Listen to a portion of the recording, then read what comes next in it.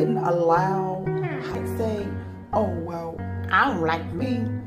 Um, I mean, again, I, I started to grow and learn friendships and the things that I've dealt with here most recently, my situations changed.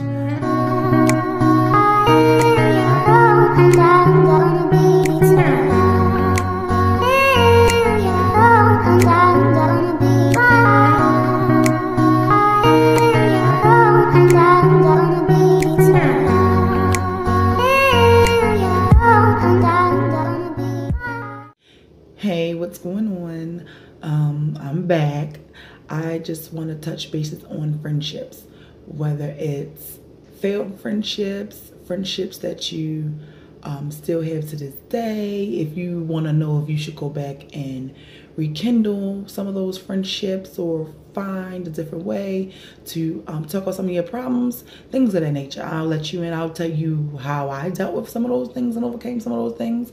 And I'll also tell you about the ones where just like, fuck it. All right. So with that being said, let's dive on in. I have uh, three best friends. I know somebody is like, oh my God, that's a lot. No, because it's, it's not. They just all play different parts. I love all of them. I love all of them so, so much. I met them in elementary school and I met them, some of them in middle school. So if you know me and if you follow me on my Instagram or just in my life period, you will know who these people are to me. All right. So let's start off first with my um, girl best friend. Her name is Toya. And I don't get them, they get mad about this part about me putting their names out there because, you know, this is my shit. You know, see me. But if you're my friend, you won't. but um, her name is Toya.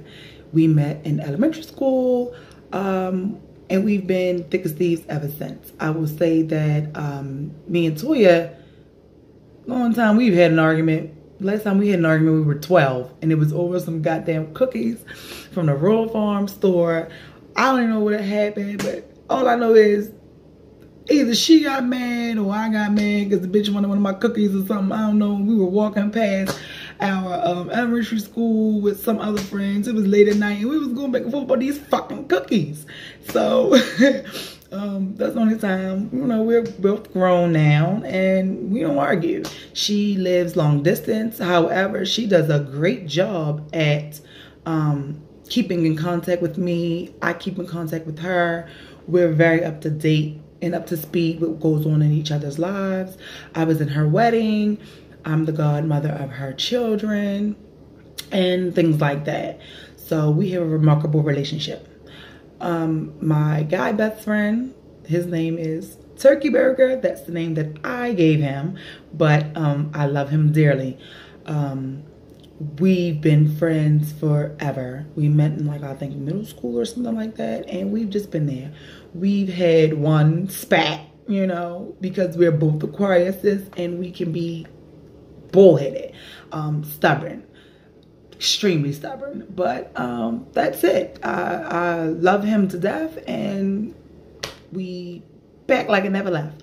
My other friend is Chris. Christian, be, we go in school, I'll be in school and I'm like, hey, yo, we boys. So that's the shit we would do, all yelling in the hallways, getting yelled at by the teachers. Even to this day when I see him, he and uh, Turkey Burger are very close and um, I'm close to all of them. So technically, I really only have two best friends because I combined Turkey Burger and Chris into one, if that makes sense. But um, Chris is my emotional friend. So he's the guy that is the guy, but he's the guy that still knows that I'm a girl. So if I go to him with some things, he, he's a little he's he's a little more sensitive, like, oh yeah, well try this, or you know, don't worry about it. Versus Turkey Burger is just like me, well the old me or whatever. And he's like, oh fuck it, fuck it, fuck it. No matter fuck that shit. Mm, yeah, all right, whatever. Yeah, well, you should have known better. You did this, da, da, da. That's Turkey Burger. Turkey Burger. We all have a Turkey Burger, a friend like that. Um, so yeah, that's them. So let's begin. If you have friends or um, in situations where the friendship is one sided, um, maybe you should change that. If you can't benefit or if the friendship isn't beneficial to all parties involved, then maybe you should do like some reevaluating or go to them and say, hey, um, I'm feeling like I'm the only one in this friendship that does X, Y, and Z. Or I'm always here, I'm concerned, I'm considerate, I'm wondering about you and what you're doing, and you just like, you only call me when something wrong or when you want to borrow or whatever it may be. Um, other than those three, I have other people that, um, of course, I'm I know and that I'm friends with and that have known me um, about the same amount of time that they've known me, or if not longer. Um, however, they are the ones that just stick out in my life the most. Um, I don't believe in distance and life takes a hold of it. I said that in the beginning because I know a lot of people say that and they use that. Um, but we all know people keep who they want in their lives. People keep in contact and keep up to date and check in with who who they want. We all know that. Case in point, you got the dude that you pay attention to, and you got the dude that you just fucking be like, why is he even calling my phone? And the same thing goes for guys as well. They do the same thing. Um, so yeah, my friend lives long distance, and like I said, she's in every aspect of my life. Um, I don't care what's going on with me. She's going to get on 95 and she is going to come full fucking throttle. But that goes both ways.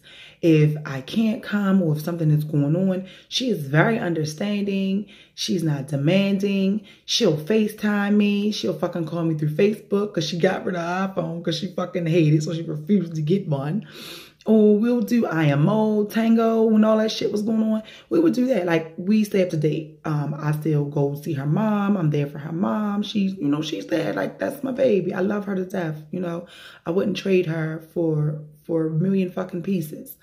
Um, so if you have friends that are out of town or that you're not in contact with, like I think that it's an excuse because I personally have a friend where we have two different lives and we live in two different states and we are as close as we were if not closer than we were when we were children. So um kudos to all of you guys that have those long lasting friendships where it's it's equal. It's not a one-sided thing. So before it used to be really really hard for me to um, grasp the fact that i know a lot of people and i had a lot of people that were in my life and that came in out of my experience that i have helped or that i've been there for or have been there for me at times. It's just like whoa what happened to the the friendship or whatever the fuck you want to call it. I don't know. What you know what happened to it? Um yeah whatever. So I had to learn that I couldn't take it personal. Like you you can't take it personal. Sometimes the shit is personal. You feel me? Sometimes the shit is personal. But what people I think people forget to realize that, um, is a friendship is a relationship. It is a form of relationship. Know, you don't got to call and talk to each other every day. Know, you don't got to do this, that, and the third all the time. But it is a form of a relationship. And I'm not saying that you got to talk every day. Just pay your friendship bill. Shoot a text, an email, write a comment under the picture. Write on your page or something like, hey, I'm just paying my friendship bill. I'm thinking about you today. Love you. Um, I don't talk to my best friends every day. I'll send them a text though. Sometimes I say, hey, I love you. Have a good day um, or hey, what's going on? And sometimes they may not respond back to me until a couple days later. But okay, that that's fine. At least we, you know, we stay connected. Um, so you can't always take it personal. Um, you have to embrace all of it, everything that comes, everything that comes with a friendship. Now, the definition of a friendship, according to the dictionary, it is a mutual feeling and shared affection um, amongst two people. It's something like that. I'm trying to do it top of my head, but I looked it up before and that's what it is. Now, the part that sticks out to me is mutual affection. If we don't have mutual affection or mutual anything, then there's something wrong with that picture. Like something wrong with that friendship. I've had a friendship um, before, not just one. So let me say I've had. I've had friendships where if you were down and you were sad, I'm coming over there. Hey, what's going on? I'm calling, I'm checking up on you. You know, all of that. I'm there. If you call me at the crack of a dawn saying you got a flat tire or your fucking lights cut off or whatever the fuck, I'm up on my bed and go, boom. But I noticed that um, when it came time for me, for me to need, it was like those same people, it was like, oh, no, well, not right now. Oh, well, I'll do it, but you gotta come to me, or well, I don't have, or you, all you know, all those excuses that we hear when it comes time for you to call on someone, those fucking excuses. Yeah. And I just say, well, damn, I don't do that when you call me. So why the fuck are you always doing that shit to me? Like, that ain't cool. So I let stuff like that go on for a while and all of that. Just didn't pay any attention. But as I began to grow um, and pray for those things to be removed from my life and those people to be removed from my life, honey, let me tell you, I can literally name all five, maybe six people that call me, text me, check up on me, all of that. I'm talking about friend wise. And I don't use that friend word a lot. Um, some people do, but I don't I don't use that friend word a lot. And maybe in that five or six, I'm pushing it because like three or four are my relatives. You feel me? So that should tell you something too. So out of everyone that I've helped, out of everyone that I've encountered, out of everyone that I allowed into my space, a lot of those people have disappeared or fell by the wayside what I did to overcome that, I wrote everyone down on a sheet of paper. I'm telling you what I did. You don't have to do it, but I'm, I think everyone should at least try this, okay? I wrote everyone's name down on a piece of paper that I was friends with or things like that or who I considered a, a friend. And I wrote all their names down on a piece of paper and I listed all of their functions and the roles that they played in my life. Like, what was their function? What are they to me? I did that. I made that list. Like, where when when I mean that list, went from being like this long to like this long. I mean, I was fucking done. I, I had to laugh. Like, I had to laugh. Because I'm like, damn, I really get to see that a lot of these people that I call my friends or that I was there for, like, you really didn't hold no huge factor in my life. So, cool. So after I did that, after I made the list, I also went ahead and dissected it you know, that's how I got it down to be so little and um, become appreciative to those who are still in my life. Um, I reached out to some people where it was like, um, don't mind me, I'm to put some stuff, something in the trash. Um, reached out to some of those people where it was like, um, I wanted to say something I didn't necessarily know exactly what I was going to say or how I was going to say it, but I wanted to say something as in, hey, you know, especially those where something may have occurred or whatever, which isn't many, but or where people made up shit that happened, and I'm like, what? You lying? Just say you don't fuck with me. Like, you you you be surprised what a motherfucker make up. Um, but okay, so I did that. I reached out. Um, I apologized, and if it wasn't an apology, I made my peace with it because I am a very impulsive person. I have to act on how I feel. I never steer from how I feel based off of what you feel. So if you say, oh, well, I don't like you and I don't want to be your friend anymore, or I don't love you, I'm not going to be like, well, I don't love you neither and I don't want to be your... That ain't me. Like, I'm too old for that. I'm going to say, okay, cool. Sorry you feel that way. Now, these are things that I've experienced. So this is why I'm speaking on it. So I had reached out to people. I sent um, texts. I even called. I've even asked to meet some or um, have lunch, anything like that. Now, some did um, reach out back to me and we talked about some things and we left them where they were. And it's like, hey, no love lost. I love you and that's what it is.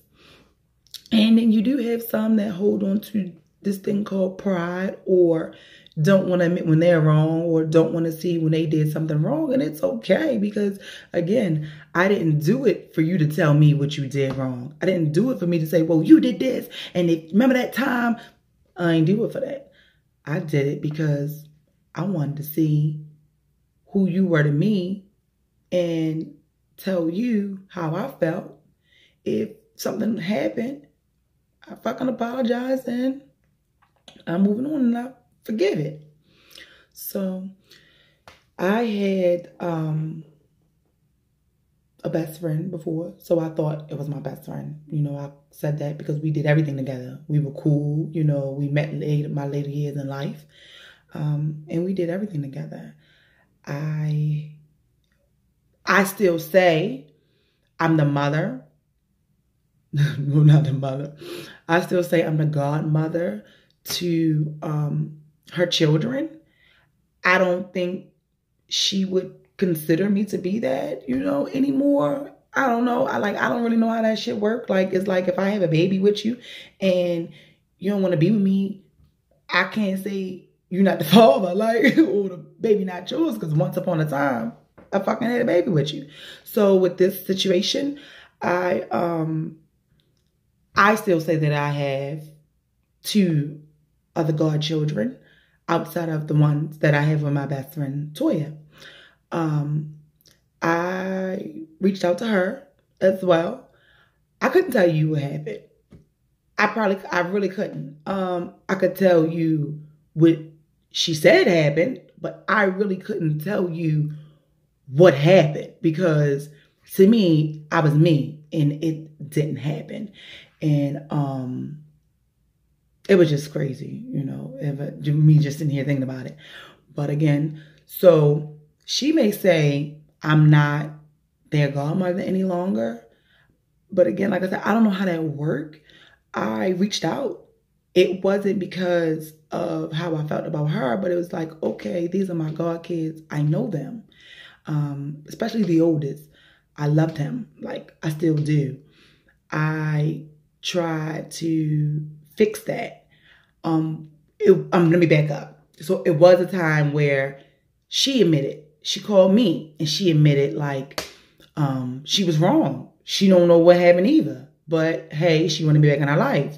And of course, me being me back then, I was like, okay, that's fine, but let me, let me tell you what you did because what you did and how you made me feel and it is. And again, when you do that to somebody, people people feel attacked, you know. And she was like, damn, you really know how to fucking pour salt on the wound. But it wasn't that. It was just the fact that it was like, how am I going to allow you to be back in my space or feel this way when I really did nothing to you when I don't even know what happened to our friendship to begin with. But again, I was younger. So moving along. So I reached out and um, saw, I think like my godson had like graduated or something like that. And these are all true events. Um, he had graduated or something like that. And I was, I was hurt. I was like, damn, I know me and you ain't cool, but I came for yo. Like, I don't put children in the middle of anything. Like, that's just me though. I don't I, I don't put children in the middle of anything. Um, when it comes to stuff like that. And I wanted I would have been there regardless if she would have spoke to me, regardless of anything not. So I, I reached out. I was like, damn, like, yo, I know me and you not the best of friends or you feel how you feel about me, but you could have told me about this. I'd have came. You know what I'm saying? You know, she responded with a, oh, well, I ain't your friend no more. And I ain't want to be phony. All right. Whatever, but that was the response. Um, and I'm like, okay, well, once upon a time, you felt something in me that made you consider me not to be the godmother to one, but to both of your children. So I really couldn't have been that bad because you did it twice. You understand? Um, and I didn't get that. I didn't understand it, but you know, she had her reasons for doing what she did. I still, against my better judgment, for a little while, reached out. I brought Christmas gifts. I'm not going to come to your house unannounced. I'm not going to just pop up. Like, that's just not what I'm going to do. I bought Christmas gifts. Um, I still had them. I just recently had gotten rid of them. And mind you, this was like some years ago that this shit happened. So I still was reaching out and buying gifts and I called, you know, but it was like it had gotten to the point, excuse me, where I saw that she wasn't really open to it. Like she really could take it or leave it if I was around in their lives or not. And um, I would ask to get them and things like that.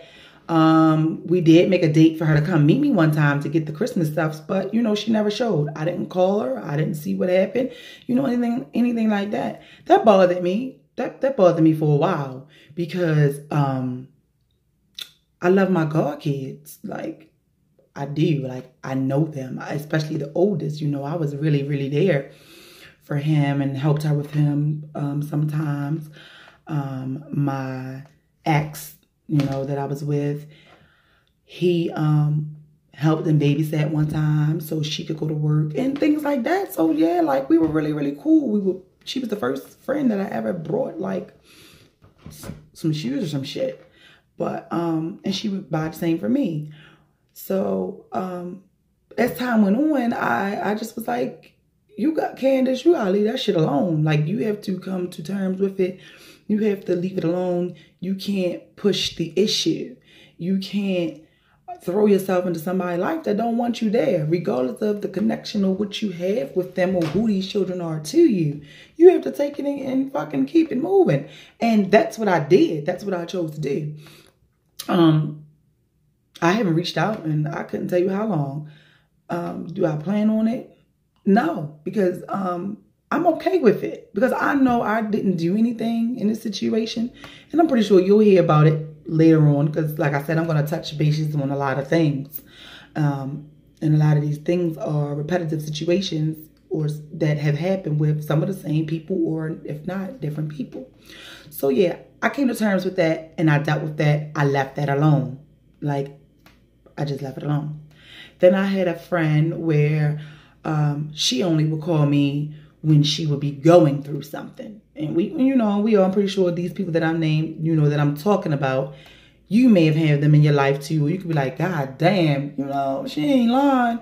Um, so yeah, she would only call when something was going on.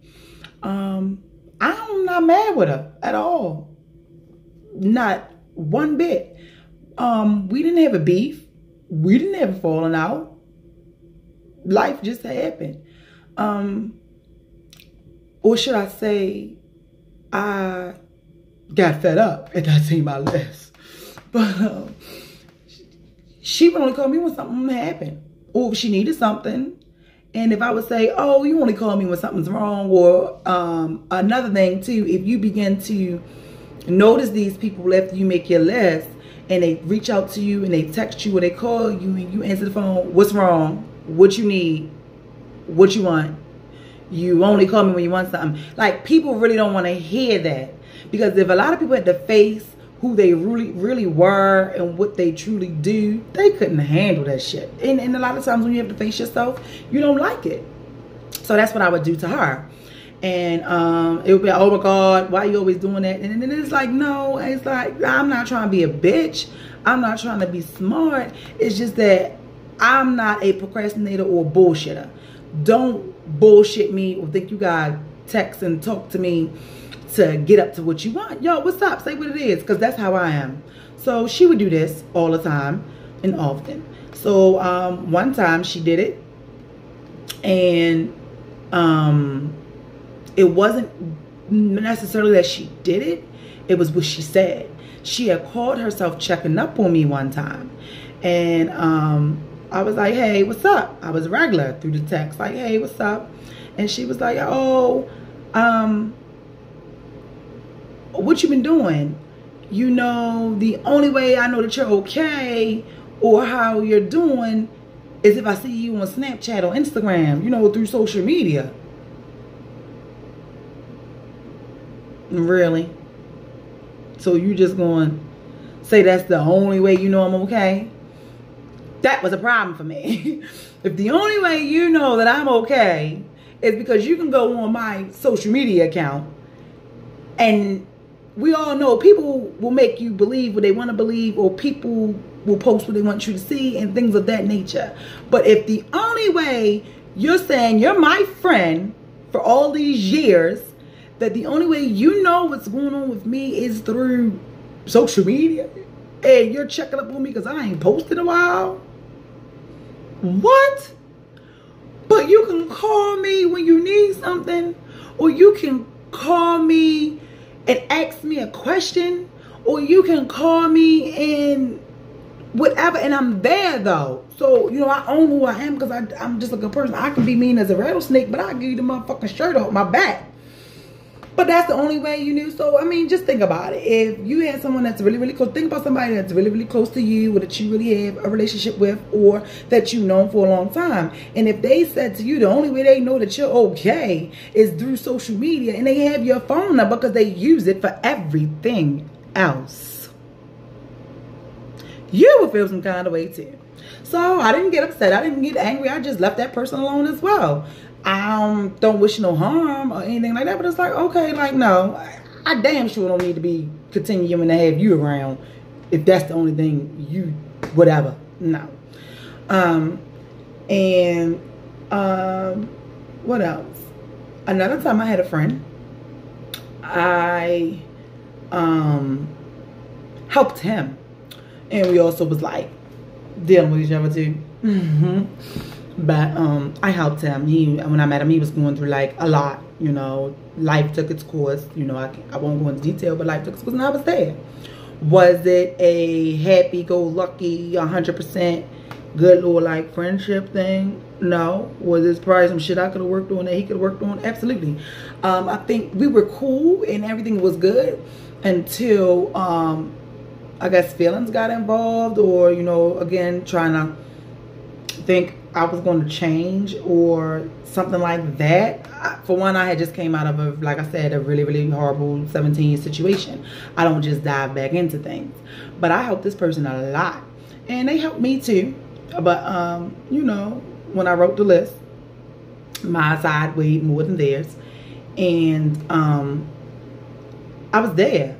I helped them. I helped them with their kids. I helped them with themselves, whether it was getting finding them a job or different things like that. I helped this person. Um, this person had came into my life at a rough time when I couldn't even help myself, but I found the way to help them. I didn't have much, but I took from myself to help them. And um, I don't regret anything I did because I look at it as me sowing my seeds, like I said before. Um, you do good into the world it'll come back to you. Now, not everybody that you help or that you do good for is going to give you a same give you the same benefit. It's not going to give you the same effect. Like your i had to realize my blessing don't come from me helping or being there for these people. My blessings come from God, the one and only. So I had to realize that. And um, we ended and stopped being friends. It was ugly. It, it was it was extremely ugly. More so like I think it was like a cat and mouse game on um, like a like a tug of war type situation. And for a long for, for a while, I, I was a bitch. I was a straight up bitch, you know. But I was a good bitch. And and I'm literally like, what that mean? I'm talking about like in the sense of I was mean and I was like nasty or whatever, but on the other side, I still was there for you, if that makes sense. Like I still did anything. My attitude did not change me from being there for you or being your friend. I may not have been able to display it properly or things like that at times, but that's what I did. And that's how I dealt with it because again, I was coming from a hurt place. You know what they always say, hurt people hurt people. So um, yeah, I was there for him. We were cool. Um, and now today, um, I couldn't tell you what he doing. Um, I, I, I really couldn't. I couldn't tell you not one thing about him. Not one, not one single thing about him. Not one. Um, I reached out to him as well. Because like I said, I made the list and it's things like that. Yeah, and if your side outweighs my side, that's fine. And it was somewhere my side outweighed their side or where we were neck to neck. And I was like, damn, bitch, you got to apologize. So that's what I did. I um, reached out, um, said my part. Um, and my, I think it was taken. Um, oh, back up. Taken is not a word. It was taken another way. And I was like, well, what the fuck did you just read? So I actually did a little snap thing on that on my page a while ago on my Instagram. And it's on my um, channel as well because I'm like, what the fuck did you read? Like, I even had to read it a couple times to some other people. And they were like, well, what the hell did he read for him to respond that way? So again, it was like, you know, all right, cool. Um, no hard feelings, but all right, I'm good. And it wasn't, and it wasn't about if they were good or not. It was about me. So I didn't get offended by it. I just was like, okay, cool, thanks. I know. But all right. But with that incident, you know, there was a person too that was like, oh, I love you. Um, I'm in love with you. Um, I'll be there. You know, I know you just whatever, you know, whatever. The fuck. Crack of shit. Um, but I feel like um situations like that, uh, it can be like toxic and it's not healthy. Um, however, the friendship side of it, like he was a wonderful friend. Like I missed my friend. I missed the friendship because I thought about how it was before um, the feelings that got involved. Like he really was a good friend. Like I miss my friend. So I said, you know, let me reach out and say, yo, I miss you. Like, I miss our friendship. Like, in spite of everything, in spite of you being selfish and, you know, just, you know, he was extremely selfish, like, in the worst way. But, I mean, I, you can't change people.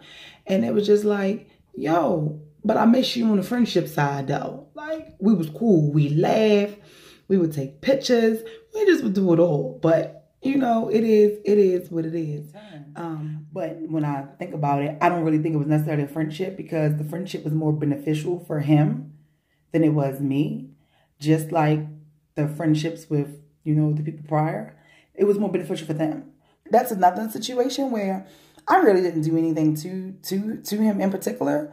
He just um, was doing better for himself, um, a lot better from when I had met him and you know, sometimes people we get lost and we smell ourselves, and you know, we can forget about those, and that's okay. And you know, he's one of those people, and that's what he and that's what he did. Um, but no hard feelings. I wish him the best. I couldn't tell you shit about him. I couldn't tell you nothing about him. Um, and I think it's crazy that when you share an experience with somebody that um, pe- people just live like you never even existed, and you have to be okay with that. So that's how I deal with that. Um, so I do have some really, really good people that are in my life too. Um, the three situations that I just spoke on though, they were um, the ones I could think of off the top of my head and, and most recent. Um, and I, uh, mm, I don't know. That's just what came to my mind because that's what's on my heart for me to talk about today. So if you are having issues with your friendships and you want to know what to do, or if you don't, if you don't know what to do, I, um, like I said, I wrote them all down on a piece of paper to find out what their functions were. I also um, learned how to apologize, and I reached, like I said, I reached out to people, and um, for if I did felt like they did something wrong to me, I forgave them. They don't know I forgave them, but I forgave them for it because you have to forgive. You have to forgive. I remember one time I said, I don't know how to forgive uh, to one of my friends. I don't know how to forgive. How the freak do I forgive? And she like, ask God. And, you know, that's what I did. As you can see, I said something about that in the um, prior video. So, um, yeah. Also, you have to um, understand that everybody won't be able to go with you where you're going. And you will outgrow some people. And it's nothing wrong with that. And it's absolutely fine because um, we grow and and and it's a part of life. And those are things that uh, that happen. Also, um, if you feel like you want to reach out to people that you haven't talked to in a long time or things like that, do it. I recommend that you do it.